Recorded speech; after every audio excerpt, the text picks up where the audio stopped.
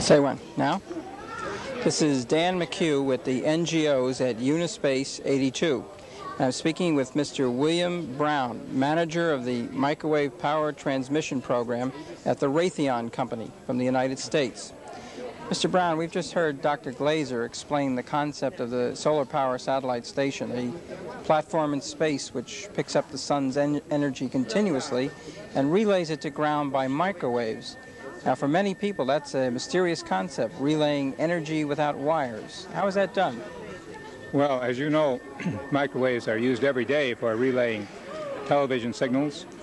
Uh, the the uh, signals are sent up from the Earth, uh, 23,000 miles in space, and then they're relayed across the whole world to another another section of the uh, world.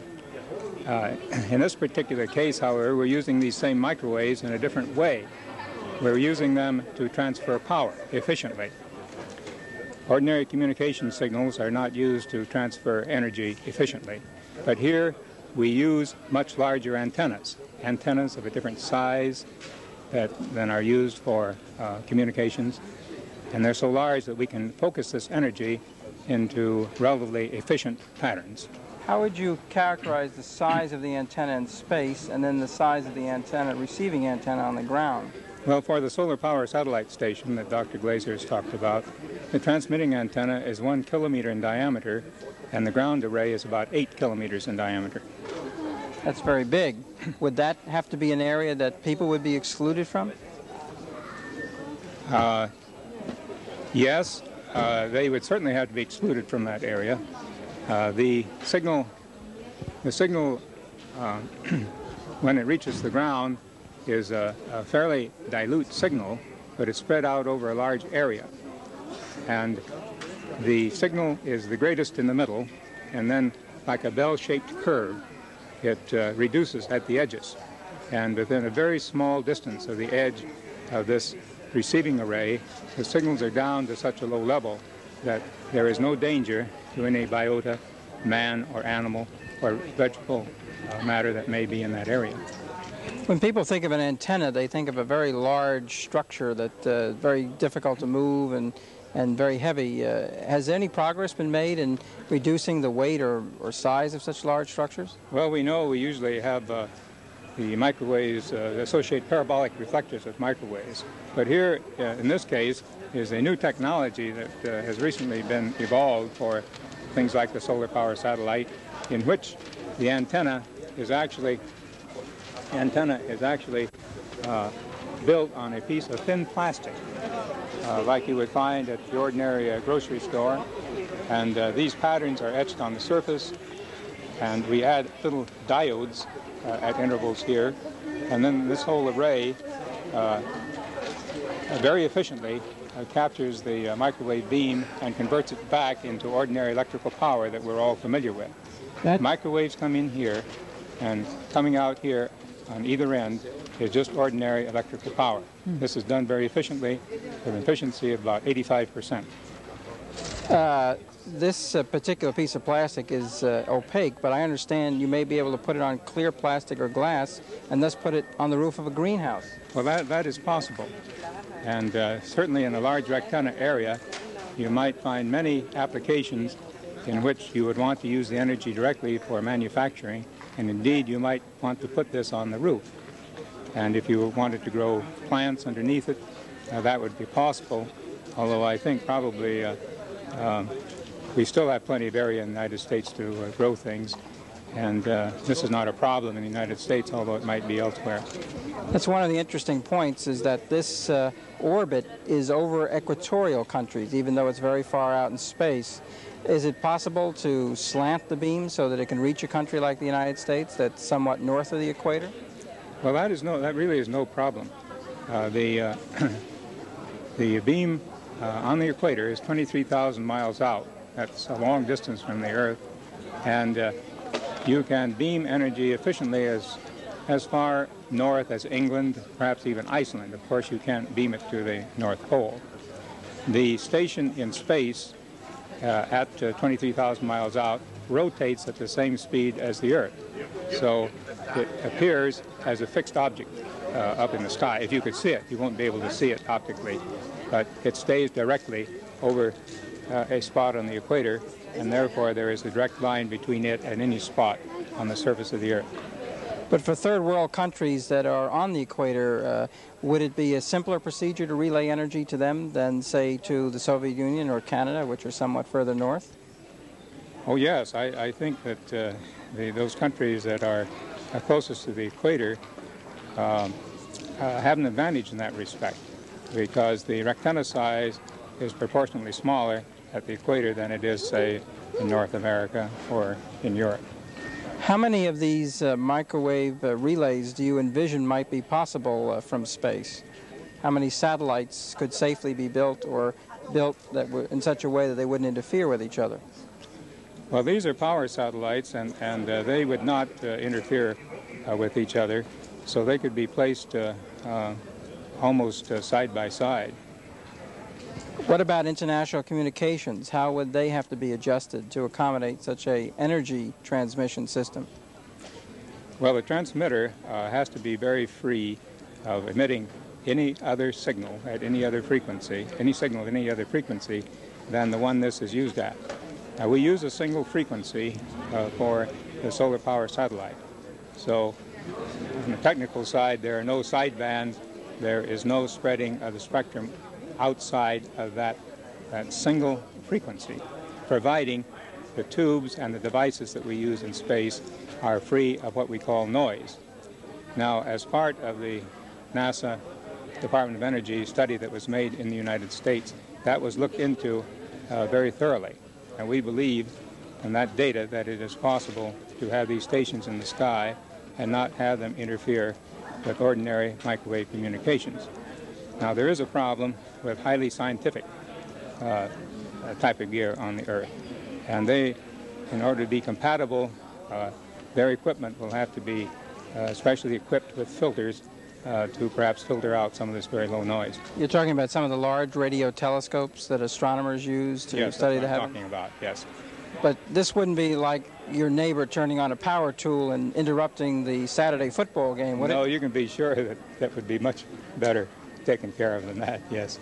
How have people at Unispace 82 reacted to these concepts as they affect communications and development? Uh, so far at the conference uh, that I've been to, that hasn't uh, uh been an issue. Uh, this may be an issue uh, someplace in the conference later on, but so far, as far as I know, it has not been.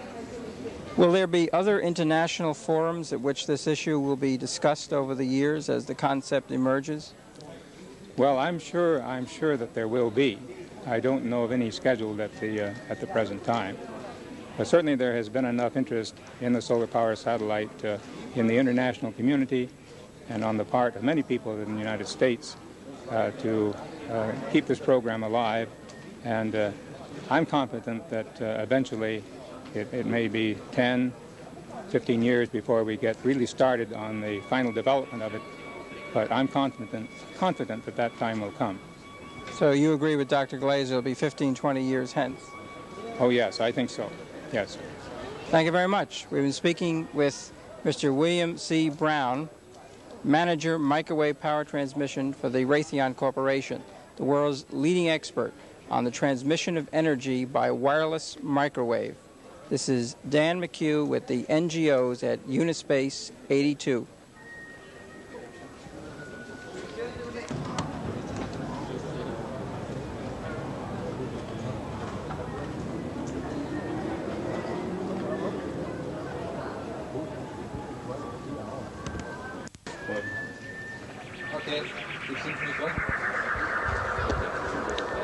This is Dan McHugh with the NGOs at Unispace 82.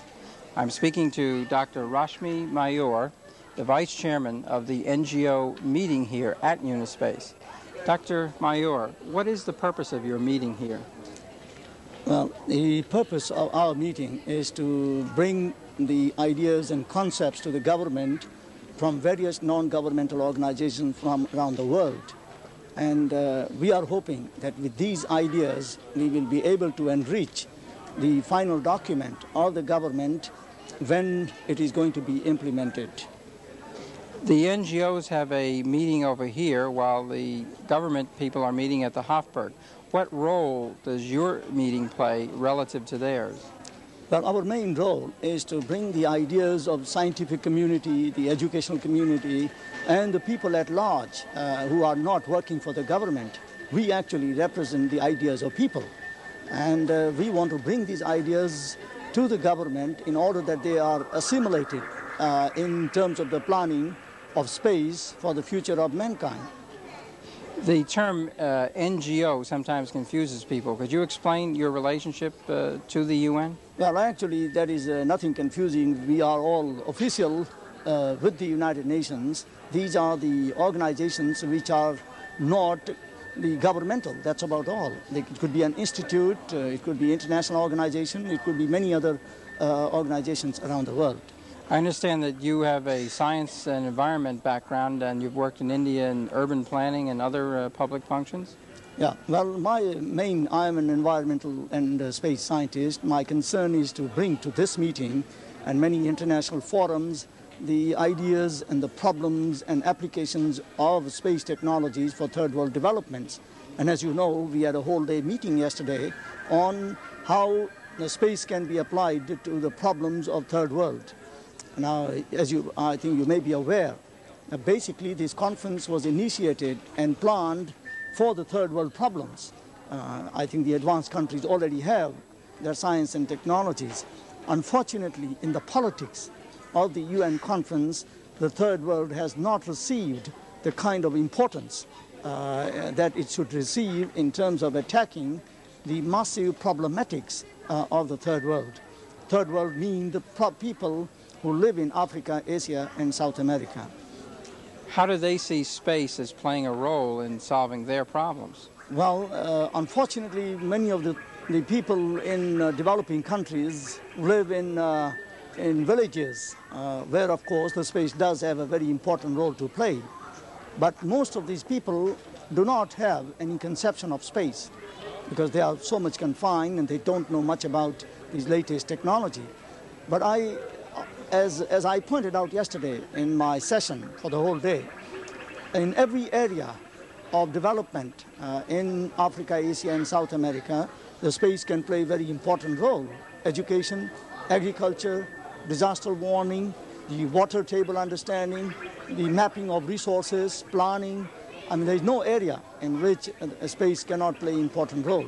So I think uh, it is good that this conference is held but we have to bring better education and awareness to the people of the world as to what space can do for them. What are the chief areas of dispute between the what's been called the, the north-south split between the richer and the poorer nations? What are the chief points of contention? Well, the chief point of contention is that the space should not be militarized because today the two superpowers are on a collision path of, uh, of spending Uh, up to even 80% of their budget on militarizing space and weaponizing space. And if once the space is weaponized, there is no future for the third world because there is no money to be used for alternative uses like environmental planning, resource developments, and so on. So I think the main, I think the area of contention is this, the demilitarizing space as people in the third world want, and I think it may so happen that the two superpowers may go ahead with the militarization of space. At this conference, uh, space military systems are officially off the agenda. Do you think the third world is going to get it on the agenda, and what part of the conference do you think will do that? Well, I think uh, the third world does want to have a, some discussion on these problems of uh, militarization of space uh, so that uh, uh, so that the superpowers understand the feelings of the two-thirds of the humanity. I do not know whether they will succeed in discussing in the plenary or in the special committee. As uh, you heard this morning, that this issue is still to be uh, settled today. But uh, I am hoping that the people who are in the non-governmental organizations will play important role in, in influencing the governments to pass a resolution uh, which will, which will uh, ban any military activities in space as it was decided according to the 1968 uh, Space Treaty. Is there a specific proposal for any kind of space systems that would help the third world uh, bring a peaceful environment to space? Well, I think you are asking a very important question. And the question is Has the United Nations prepared a package plan for third world development through space? I say no. I think there are broad general statements in the draft resolution of the United Nations, as you can see, but we don't have a package plan in terms of the specific amount of monies to be spent on weather forecasting, agricultural development, resource planning, and so on. I haven't seen in the draft plan, and I hope that this conference will not be the end. We'll go after the conference to preparing such a package plan, which will lead to the application of space for the third world development. Now, the governments may not do it, or the United Nations may not do it, but it is the duty of the people at large uh, to prepare the package plans and get the funds and see that they apply to solve the problems of the world. One of the proposals that's come up here is the creation of a UN Space Center or UN Space Agency. Yeah. What kind of uh, contribution could such a development provide? Well, personally, I have seen uh, too many, too fat uh, bureaucracies uh, developing in the government and in the United Nations. Uh, I feel uh, that such a center should not be set up at this stage. Uh, I think what we need is the series of activities intergovernmentally planned which would lead to the development of these packages. But once you set up a big bureaucracy in the United Nations, the large amount of funds will be wasted in maintaining that bureaucracy and the common man will not benefit. And so I think what we require are the people's organizations which will prepare the simple plans which will reach the common man and which will have the funds available from the people themselves. What do you feel about the possibility of, of UN satellite surveillance to contribute to uh, military uh, intelligence for those people interested in keeping the peace rather than planning military operations? Well, the United Nations is not, in, uh, not in the business of putting satellites. Uh, this is not their work.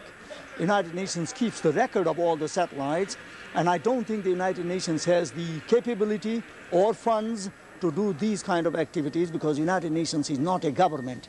It does not run the space centers, and uh, I don't think uh, that is uh, feasible at this stage. What about the concern of third world countries that surveillance from space for commercial as well as military purposes puts them at a unique disadvantage where sometimes multinational corporations have more information about resources in their own country than they do? Of course they do. And this is, uh, I think the time has come that there should be some international efforts to control, monitor, and, uh, and, uh, and the plan these uh, activities of surveillance in the third world, which are done by these either the multinational corporations which are running these uh, um, space centers or done by somebody else. So uh, I think my, my own feeling is uh, that the international activities uh, should be so planned that they control uh, the, the, the interference in the, some of these countries. One final question. What about the geosynchronous orbit? Some countries, such as uh, Colombia and others, have said that special allocation should be made for those countries that lie on the equator.